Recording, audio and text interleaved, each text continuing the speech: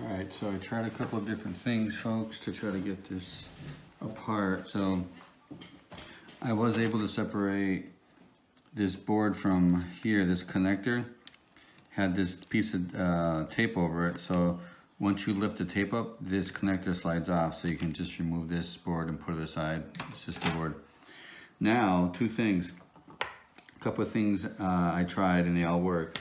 You can, these little tabs here, these little plastic tabs have to be removed. I did remove a couple here. You can follow my uh, screwdriver on the board. You can see where they where these are. Uh, so I left three on. One way I, you could do this is if you had a screwdriver, it's a little tougher with the screwdriver and you're really digging down to try to get it to pop up. So I don't really like that way. If you had a soldering iron, uh, soldering iron does look similar to this. Obviously there's heat applied uh, to the tip here and you, then you can just melt, you know, swipe them, melt them off. They come off pretty quickly. I'm using just a razor blade be careful you don't cut yourself. Um, and all I'm doing is going under it and popping it off like that.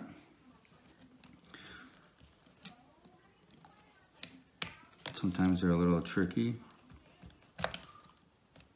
That's really it. It's just a little piece of plastic. Pop it off, go to the next one. if you kind of if you if you have the ability to slide it, it, it cuts right it slices right through it as you can see as such and the last one I'm going to slide it there we go that one's popped off now uh, this screw here we're to have to loosen up these are all number one Phillips screws this goes to your LCD uh, hinge, put that aside. There's two over here, loosen them both up. Put that one there.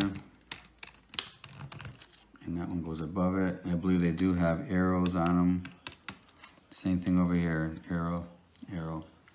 Uh, we have to remove this tape. Pull this tape back.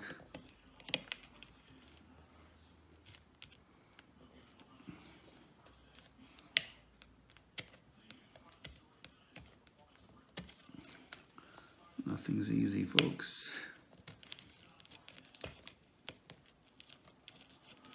Just slide that back. Another one here.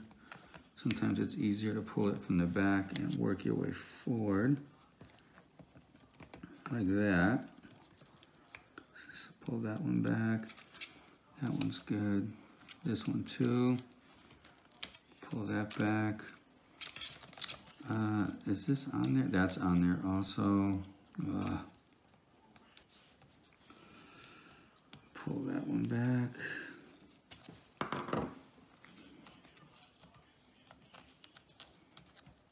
Keyboard is underneath this metal frame. There you go. Uh, looks like this metal, this has to come off also. Oh my gosh. Okay. This is the mouse pad sensor.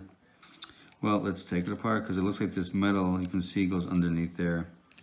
So slide these.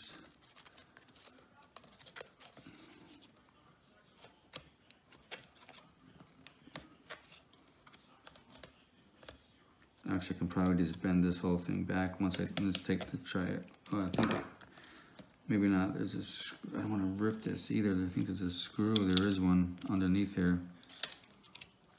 There it is. Might be able to get away with just loosening all this up. Put these aside.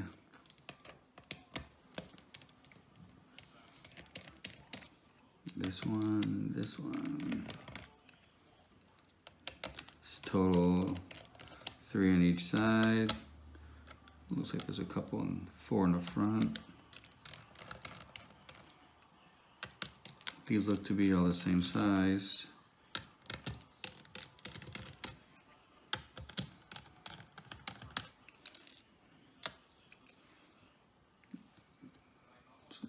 Slide this piece of tape back.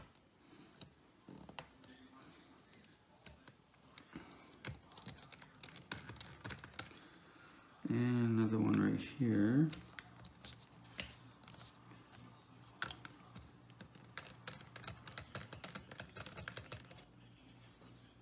Nope, they do look, all they be the same size. So this bracket could probably just, let's see if we can.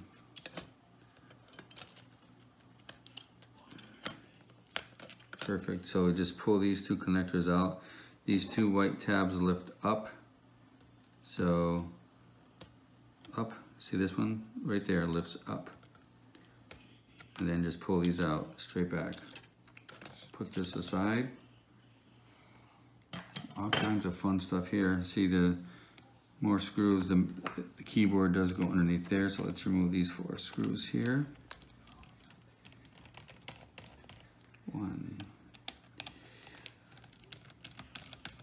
Two, three. This is a total disassembly. What a terrible design, just to replace a keyboard. There's your mouse pad, or sensor, whatever you want to call it. Careful, there's your LCD screen right there. Uh, let me do this. Some bubble wrap. Put that underneath there so you don't scratch it. You could use a piece of cardboard, whatever you have. So now we're getting,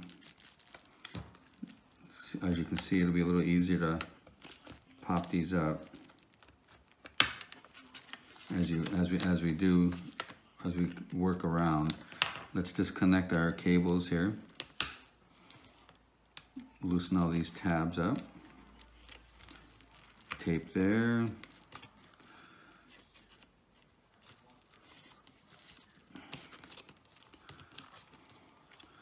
Goes like that. Put that one back.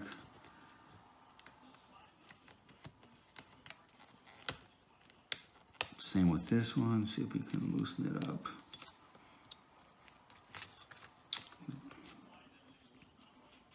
Where does that go around over here? That goes to your Wi-Fi.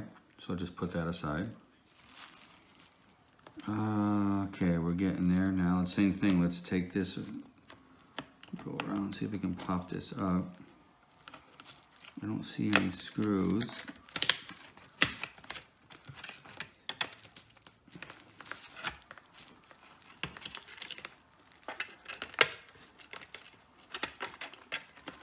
Same thing here.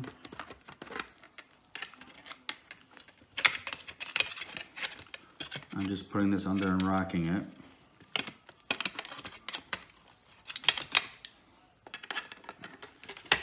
Like I said, you're, you're be careful because your LCD screen's underneath it, so try not to pry too too hard. This will slide out of there. Let's see, I want to make sure you guys can still see that. Yep, still in the frame. Uh, this looks like it's getting hung up on our hinge.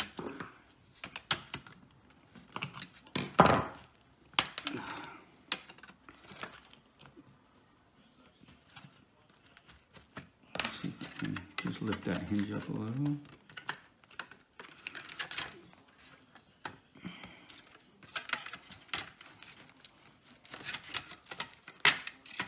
Perfect. All right. If I had a pair of pliers, I could lift that hinge up a little more. There we go. As you can see, I just uh, was able to uh, bend it up. And now this should come out. Total disassembly. Hope you guys are up for this. this is your keyboard, so it looks like it's taped on.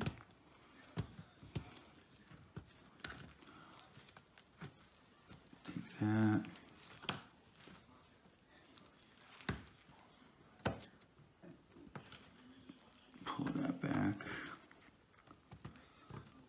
pull this back.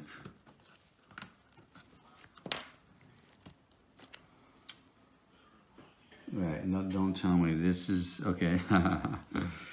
so this keyboard is done the same way, folks. As you can see, I'm gonna pause the video again. I gotta go through and melt or melt or take off every single one of these, as you can see. Um, it is what is holding the keyboard into place. There's an awful lot of them. So I'm gonna pause it because it's gonna take me a while. But um, just so you can follow through, every single one of these little plastic um, beads has to be uh, taken off because that's the only thing holding the keyboard down. You don't have to worry about it when you replace it because all the screws and everything else is gonna hold it into place. So I'm gonna pause the video and go ahead and remove all those.